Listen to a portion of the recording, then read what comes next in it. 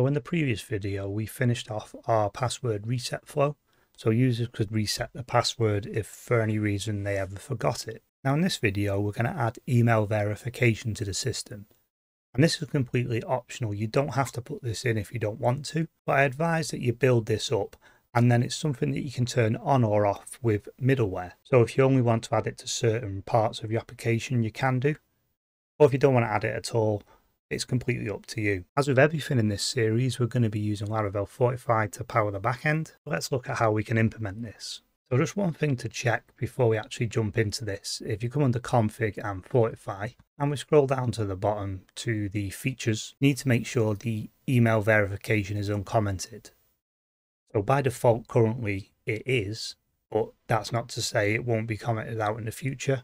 So it's just worth checking this and any of the other Laravel Fortify features as well. It's always worth just checking in here if something's not working just to make sure they are enabled. Now we just need to make sure our user model implements the must verify email interface. And you can see here at the top of the file, it's bringing in Illuminate contracts auth must verify email. But if you can see from my IDE, this use is in grey rather than white. That means it's being pulled into the file but not used. So we need to make sure that we implement this interface for this to work. So up after extends, we can just call implements and we want to implement that must verify email interface. Now that we've implemented this interface, this means that new users will receive an email asking them to verify their email address. So let's just try this out. So I've just filled in some dummy data here for a new user and I'm going to hit submit on this. You can see that's now registered the new user and logged us in. Now let's head over to MailTrap where I set up in a previous video a development email server. And we can see here we have a new email from our system. Let's just open this. And you can see here it's asking us to verify our email address by clicking this button or the link below. Now this won't work at the moment because we haven't told Laravel Fortify where to find the view. So now if we just click this verify email address link here, you can see here this has actually redirected us back to our homepage. But before it did that redirect, it's verified this user's email address. And we can check this out in our database. So I'm using MySQL, so I'm just going to log into MySQL here. And I'm going to select that last user. And a little tip here, I'm using backslash g on the end here. And this just formats the output from MySQL in an easier to read format. As you can see here now, the email verified at has a date time stamp against it. So this user now has verified their email address. So what I'm going to do now is I'm just going to update this column. So this user is no longer verified. So I'm just going to update the users and I'm going to set email underscore verified underscore at column equal to null where the ID equals 193 and if we just do that select again, and you can scroll through your old MySQL commands by pressing the up and down keys on your keyboard, and that'll bring up the previous commands so you don't have to retype them out again. Just hit enter on this. You see that email verified is null again now. So now let's apply that verified middleware so we can actually see this in action. Under the root of our project, I'm going to come down to routes and I'm going to go into web.php. And you can see here we're already applying some middleware, the auth and the auth is admin. And these are two our admin routes. So let's say now that we want all of our admin users to verify their email address also. For everything inside of this route group, we're going to say we want them to be verified. Now back over in our application, if we just log out of this current user and we'll log in as one of our admin users that we created earlier in the video, now if I try and go to one of the admin routes like the users page that we just put the verified middleware on, we should actually get an error here because we haven't configured Fortify yet. But we'll know that that verified middleware is working. So let's just click this.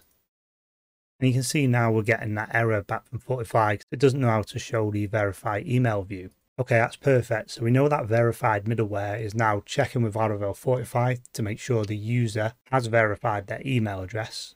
And if they haven't, it's going to try and show them this view to tell the user to verify their email address. So let's actually configure and create that view now. As always with everything in Laravel Fortify, this is through the Fortify service provider. And you can find that in app providers, Fortify service provider. And then in the same way that we've done the above here, we're just going to call Fortify. And we're going to say verify email view. And this takes in a closure again. And then we simply want to return a view. And I'm going to put this one in the auth folder and I'm going to call it verify hyphen email.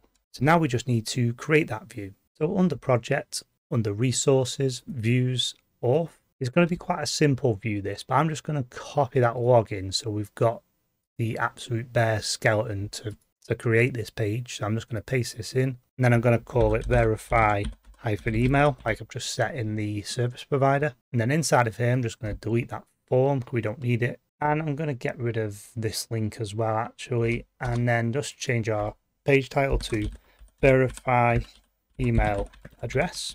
I'm spell address correctly there.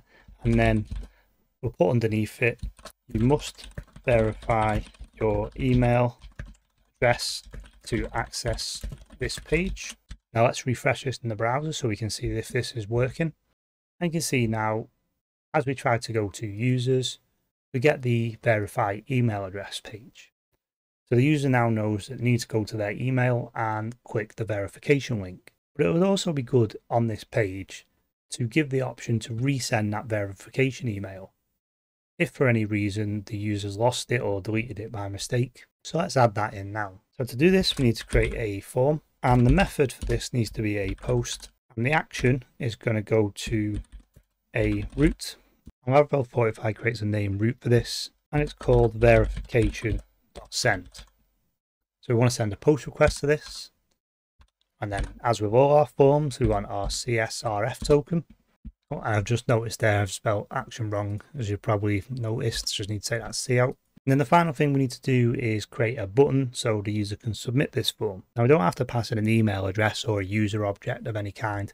Because the user is currently logged in to actually see this page, Laravel knows what user to send the verification email to again. So let's just quickly make out this button now. I'm going to have a type of submit and I'm going to give it some of the bootstrap styling of BTN and BTN primary. And then for the text on the button, I'm just going to say resend verification email.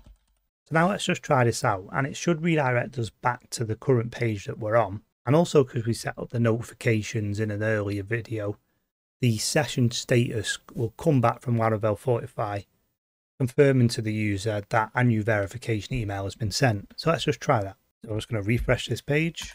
And I'm going to hit that resend verification email button. And you can see there it sent us a notification back saying verification link sent. Not the best formatted uh, error message. I assume that the creators of Laravel will probably fix that at some point. But for now anyway, we know the verification email has been resent. So if we jump back over to Mailtrap, we see here we get the verification email again. Let's just click this verify email address button.